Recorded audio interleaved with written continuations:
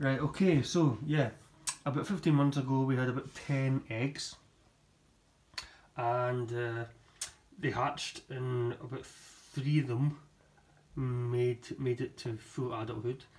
And from there uh, hundreds of eggs. I can't even say how much. So what I've done there's a kind of little temporary box I've got here uh, which is quite good. Right now there's eight in there. So what I've we get inundated with eggs and poo so what I've made I've made this little thing it's like a false floor made with made with this material made a false floor with this kind of material, which I got in a, uh, a kind of knitting shop. Very good, so the eggs and dirt and muck poo fall down, and it's easy to clean. So you can see that it's mostly muck, but we've got a couple of eggs, there's one egg, very small and delicate, a bit hard, listen to this. Right, so it can, uh, what's that noise behind me? Oh, you're just messing about Michelle, aren't you? Uh, okay, so, and here what I'm going to, I'm waiting on a, I'm waiting on a, box. no not a box, I'm waiting on a, uh, an angle grinder, so I'm going to do the same here. I'm going to make a gap here and make a false floor. Uh, and this one here, we've got a lot more insects in here. I'm just about to clean this one out, the top one. We can rotate it every two or three days and clean one, clean one out. It'll be a lot easier once we get a false floor built in this one, yeah?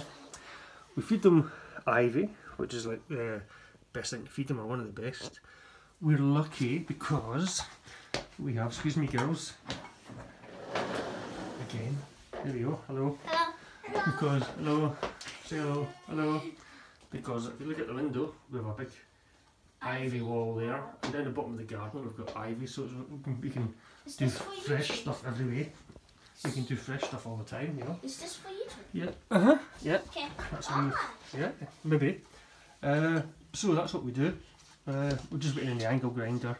Uh, they're quite easy to look after. They hang up They hang upside down. You can see. with uh, the They're- fight. yeah, they're hanging up because they're in the evening. they, they they're nocturnal. Just now they're just chilling out, you know.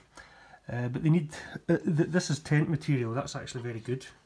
If you can put that on the top because they can grip onto it, and you need something to grip onto uh, when they're shedding their skin because they shed their skin uh, three times in their lifetime.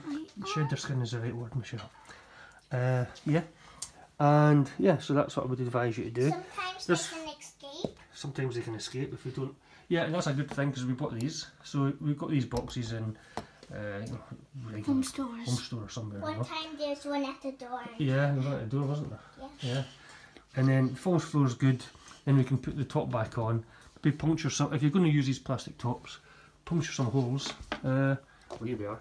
There's lo- don't use this top, but you can put drill some little holes in there for air. But there's enough air coming in here.